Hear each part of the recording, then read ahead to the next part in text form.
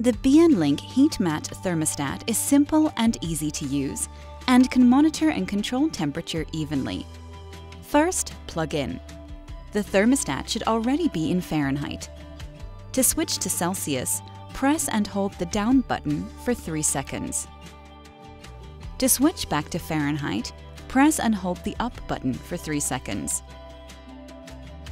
An indicator light will let you know whether you are in Celsius or Fahrenheit, and another indicator light will let you know that the device is powered on. To program your desired temperature, press and hold the Set button until the display starts blinking. Then use the up and down button to adjust your desired temperature while the screen is still blinking. The control range is between 40 to 108 degrees Fahrenheit. Press the Set button to confirm.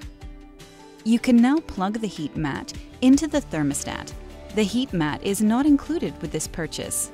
Place the temperature probe and then you're all set up. The number on the screen is the temperature the sensor probe is reading. The thermostat can only monitor within 32 to 108 degrees Fahrenheit. You can push Set to see the programmed temperature you set that the thermostat is to keep to, and hold down the Set button to change that temperature.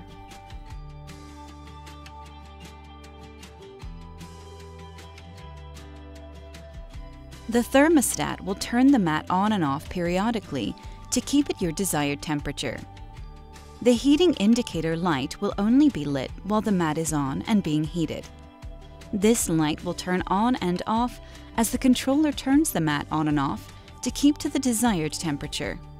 If the screen shows E1, this means that the temperature is lower than 32 degrees Fahrenheit. If the screen shows E2, this means that the temperature is higher than 108 degrees Fahrenheit. If the screen shows E3, this means that the temperature sensor is not working properly.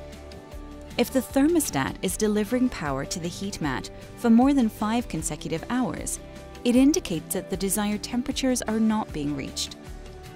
The thermostat is designed to have a 3 degree buffer zone before powering on again to reach the set temperature do not expose the thermostat or probe to water.